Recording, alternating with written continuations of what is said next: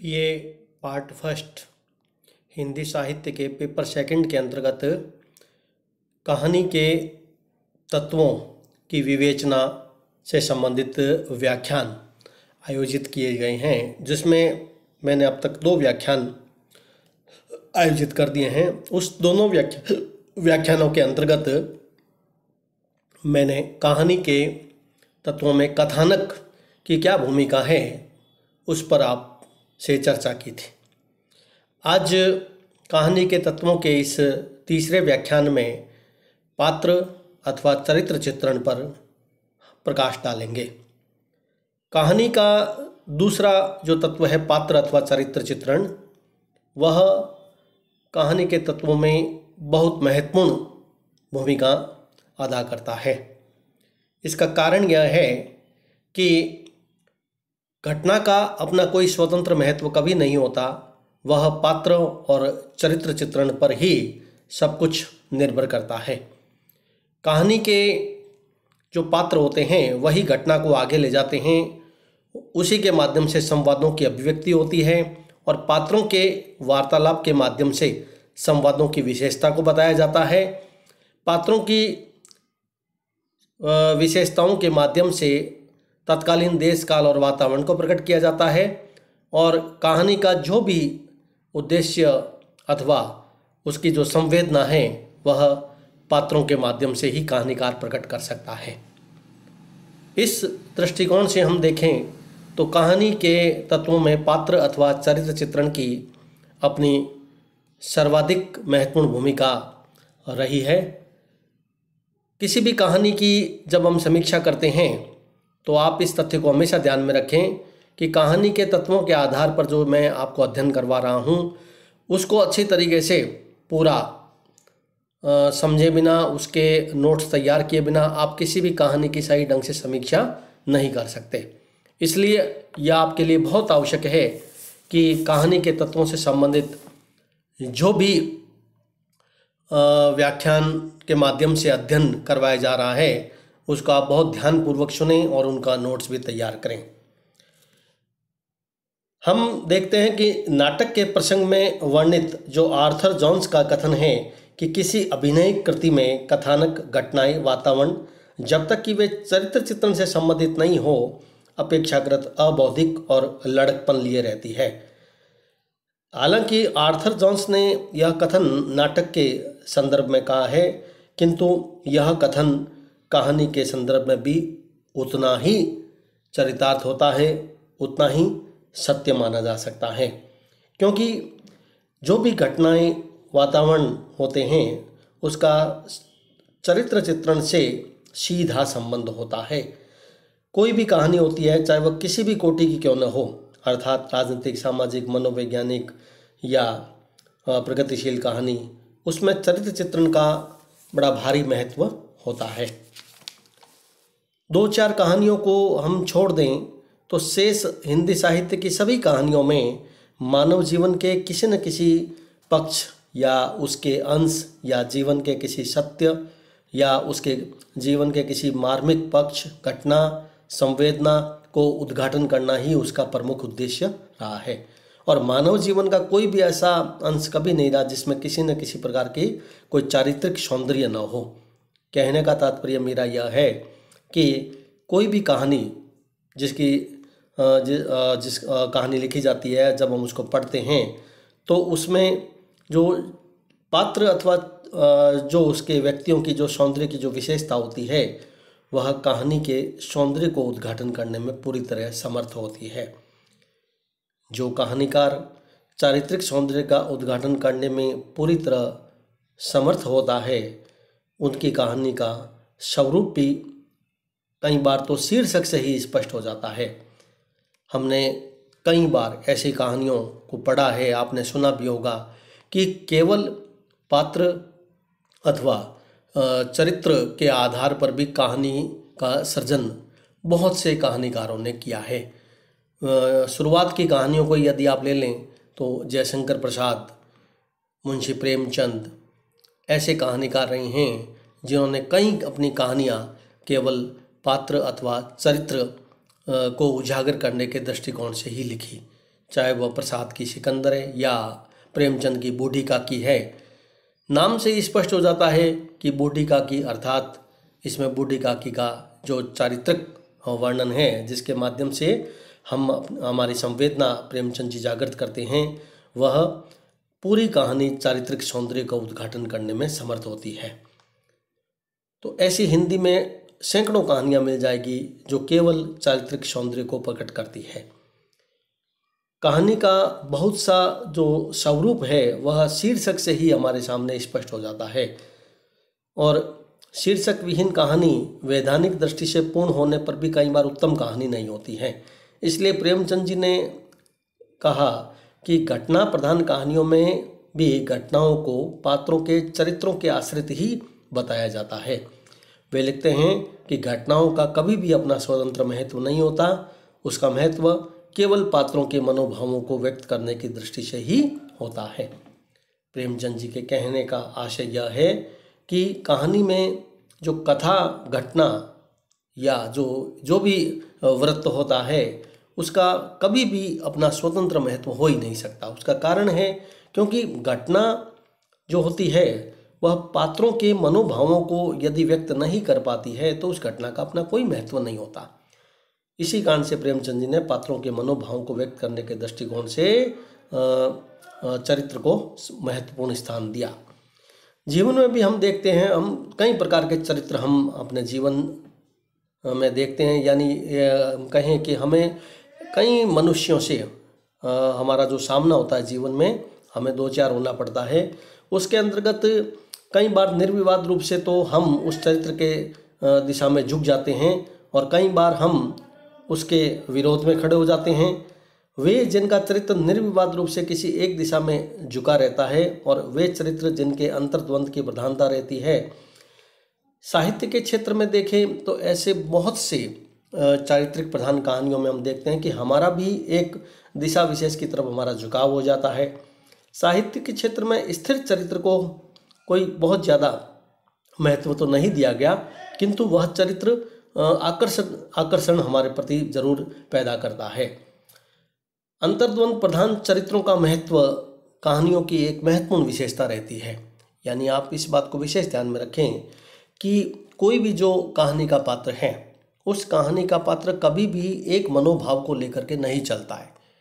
उसके हृदय में अनेक भावनाएँ या उसकी मनोगत भावनाएँ जो कहानीकार के द्वारा प्रकट की जाती है, वही कहानी श्रेष्ठ होती है। और उसी कहानी का महत्व अधिक होता है, जो जिसमें पात्र अंतर्द्वंद या अपने मनोविश्लेषण या मनोगत भावनाओं से दो चार होता है।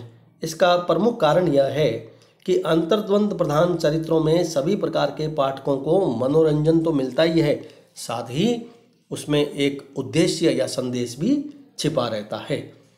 अंतर्द्वंद प्रधान पात्रों के चरित्र में एक एक गत्यात्मकता भी होती है। गत्यात्मकता ही उसे सौंदर्य प्रदान करती है और पाठक के मन को आकृष्ट करती है। कहानी के प्रसंग में हमें यह कभी नहीं भूलना चाहिए कि कहानी एक लघु रचना होती है। जल्दी से कहानीकार के द्वारा उसे समाप्त करने का प्रयास किया जाता है। उसका आकार होता है, वह लघु होता है और छोटी सी रचना होती है, उसमें किसी पात्र जो भी पात्र होते हैं उस पात्रों के एक में बहुत अधिक पात्र को दिखाया जाना कहानी में संभव नहीं है। कई बार कहानीकार किसी एक पात्र को ही अधिक उजागर करने का प्रयास करता है और उसी कारण से उसका शीर्षक भी उस पात्र के नाम पर रख देता है। यदि शीर्षक पात्र के नाम से नहीं है, फिर भी चरित्र की एक झलक हमें कहानी के अंतर्गत पर, बराबर मिलती रहती है। हमें इस तथ्य को विशेष ध्यान में रखना चाहिए कि जो कहानी में पात्रों की सर्जना कहानीकार के द्वारा की जाती है, उसमें बहुत ज़्यादा चरित्र वह नहीं रख सकता। अधिक से अधिक एक या दो। दो से ज़्यादा कहानी का मैं नहीं रख सकता, क्योंकि उसका आकार फिर बहुत बड़ा हो जाता है और वह कहानी की श्रेणी में ही नहीं रह जाती है। पाश्चात्य आचार्य हडसन ने भी इस तथ्य को समर्पित करते हुए समर्थित करते हुए लिखा था कि कहानी में चरित्र का उद्घाटन मात्र किया जाता है, जबकि उपन्यासों में चरित्र का विकास दिखाया जाता है। हडसन के कहने का तात्पर्य यह है कि सभी पात्रों के चरित्रों को विकास कहानी में दिखाया जाना संभव नहीं है। मुंशी प्रेमचंद ने भी कहा है कि वह अपने चरित्रों के मनोभावों की व्याख्या करने नहीं बैठता है, केवल उसकी तरफ़ इशारा भर कर देता है। प्रेमचंद जी के कहने का आशय यह है कि कहानी में पात्रों के जो चरित्र चित्रण किया जाता है या पात्रों के मनोभाव का जो चित्रण करता है, कहानीकार कई बार केवल इशारों में संकेत भर माध्यम से कहानी में प्रकट करता है, क्योंकि इतना अवकाश कहानी में कहानीकार को नहीं मिलता है। इससे स्पष्ट है कि कहानीकार का कार्य उपन्यासकार की अपेक्षा अधिक कठिन होता है। कहानीकार को चरित्र चित्रण में सदैव चरित्र के मूल भाव को पकड़, पकड़कर उसे प्रकट करने का या विवृत करने का प्रयास करता है। चरित्र के मूल भाव के विवृत हो जाने पर चरित्र संबंधी सूक्ष्मताओं का संश्लिष्ट चित्रण नहीं करना पड़ता। चरित्र के इस मूल भाव की अभिव्यक्ति भी अधिकतर कलापूर्ण नाट्य शैली में ही होती है। अर्थात पात्रों का जो चित्रण होता है, उसमें कहानीकार के द्वारा कौतूहल और जिज्ञासा को हमेशा बनाए रखा जाता है। नाट्य शैली से यहाँ से है, कहानी की, पात्रों की जिज्ञासा को निरंतर बनाए रखना। चरित्रांकन की इस नाटकीय शैली का स्वरूप क्या है, इसको स्पष्ट करते हुए डॉक्टर जगन्नाथ प्रसाद शर्मा ने लिखा कि कहानी की सर्वाधिक प्रभावशाली और व्यवहारों उपयोगी चरित्रांकन पद्धति वह होती है जिसमें नाटकीय विधि का उपयोग होता है। इस विधि के अनुसार संवादों के अंतराल में पात्र स्वयं अपने मुख से अपने चरित्र के प्रकाश प्रकाशक, विविध गुणों, धर्मों, विचारों, अनुभूतियों, आशाओं, निराशाओं, आकांक्षाओं, आदर्शों अथवा अपनी अपनी रुचि अरुचि, मंतव्य, भावनाओं, संदेशों का विवरण वह उपस्थित करता है अथवा कहानी में उसका परिचय देता रहता है। यहाँ वह अपने विषय में स्वयं ही बोलता है और अपने मंतव्यों को इस प्रकार प्रकट करता है कि उसके अंतःकरण का स्वयं में और भली भांति उद्घाटन कहानी में हो जाता है। डॉक्टर जगन्नाथ प्रसाद मिश्र ने कहानी में पात्रों का चरित्र किस प्रकार से हो या किस प्रकार से होता है, उसकी एक संपूर्ण विवेचना हमारे सामने प्रकट कर दी। उनके अनुसार सामान्यतः कहानी में पात्र स्वयं ही अपने विचार, अनुभूतियों, भावनाओं, स्वभाव या जो भी उसका मंतव्य उसको प्रकट खुद ही करता है। किसी दूसरे पात्र के द्वारा उसका वर्णन बहुत कम किया जाता है। इसका कारण यह है कि कहानी मैंने शुरू में ही कह दिया कि वह बहुत सीमित होती है। उसमें इतना अवकाश नहीं होता कि एक तो पात्रों की संख्या ज़्यादा रखें और दूसरा कि जो भी पात्र रखे वह किसी अन्य पात्रों की चरित्र की विशेषताओं को बताएँ। इसलिए कहानी के पात्र के द्वारा स्वयं ही अपने धर्मों, विचारों, अनुभूतियों, आशाओं, निराशाओं को प्रकट किया जाता है। पर समस्या यह है कि चरित्र चित्रण का जो आधार है, वह दृश्य जगत होना चाहिए या मनोविज्ञान शास्त्र? चरित्र चित्रण का जो स्वरूप हमें साहित्य में मिलता है, वह यथार्थ होते हुए भी यथार्थ जगत से काफ़ी भिन्न हमें कई बार दिखाई देता है। साहित्य में यथार्थ जगत की प्रत्येक बात कल्पना या भावना के माध्यम से ही होती है। कल्पना या भावना के माध्यम से चित्तित होने के कारण वह यथार्थ जगत की होते हुए भी यथार्थ जगत से सर्वथा भिन्न हो जाती है। अतः हमें यथार्थ जगत के साथ पात्रों के चरित्र निर्माण में मनोविज्ञान शास्त्र को भी सदैव दृष्टि में रखना चाहिए। कहानी के चरित्र चित्रण में एक बात पर और ध्यान रखना चाहिए वह यह कि पात्रों की संख्या कभी भी अधिक नहीं होनी चाहिए। मैंने शुरू में ही आपको यह बात स्पष्ट कर दी। क्योंकि अधिक पात्रों को निभाना कहानीकार के लिए बहुत कठिन हो जाएगा। उनको बनाए रखना शुरू से अंत तक सभी पात्रों की विशेषताओं को बहुत कठिन है, क्योंकि कहानी अत्यंत सीमित विवरण में लिखी जाती है। और साथ ही बाहरी संघर्षों का वह रूप भी वह चित्रित नहीं चित्रित करना चाहिए। कहने का मेरा आशय है कि जो बाहरी संघर्ष होते हैं देश काल परिस्थितियों के अनुरूप उसका चित्रण उसमें नहीं हो सकता अधिक। विरोधी प्रकृति के पात्रों का द्वंद्व जैसे मान लीजिए चित्रित करना चाहें तो यह इसमें अवकाश नहीं है। वह अवकाश हमें नाटक, उपन्यास आदि में ही मिल सकता है। वास्तव में कहानी में केवल एक जो प्रमुख पात्र होता है, उस प्रमुख पात्र के चरित्र चित्रण पर ही कहानीकार की दृष्टि रहनी चाहिए। उसके चरित्र का चित्रण करते समय यह सदैव उसको ध्यान रखना चाहिए कि उसके चरित्र के सारे अन्य कहानी के जितने भी पात्र कहानीकार के द्वारा रखे गए या उस कहानी में जो सहायक पात्र हैं, उन सभी सहायक पात्रों के चरित्रों के प्रमुख तत्वों की भी स्वतः ही निर्वृत्ति होती, हो जाती है। अतः कहानी में प्रमुख पात्र का चरित्र ही विशेष महत्व रखता है। कहानीकार को पात्र इस बात का भी ध्यान में रखना चाहिए कि वह जो भी समय लेता है अपनी कहानी में, जो भी राजनीतिक, सामाजिक, आर्थिक वातावरण जो लेता है, उसके अनुसार ही उसे पात्रों की वेशभूषा, उसके रूप, सौंदर्य का आकार, नाम, उसकी भाषा उसका, उसके चरित्र का वर्णन पूरी तरीके से उस परिस्थिति देश काल या संकलन त्रय के अनुरूप होना चाहिए। औचित्य और अनुरूपता न होने पर चरित्र चित्रण पूर्ण और प्रभाव पाठक पर नहीं छोड़ पाता है और इस दृष्टिकोण से चरित्र चित्रण के इस दृष्टिकोण से फिर वह कहानी भी सफल नहीं मानी जा सकती। अतः इस पूरे व्याख्यान में मैंने आपको कहानी के पात्र अथवा चरित्र चित्रण की क्या भूमिका है, कहानी के तत्वों में पात्र अथवा चरित्र चित्रण की क्या भूमिका है, इसको पूरी तरीके से व्याख्यायित कर दिया है।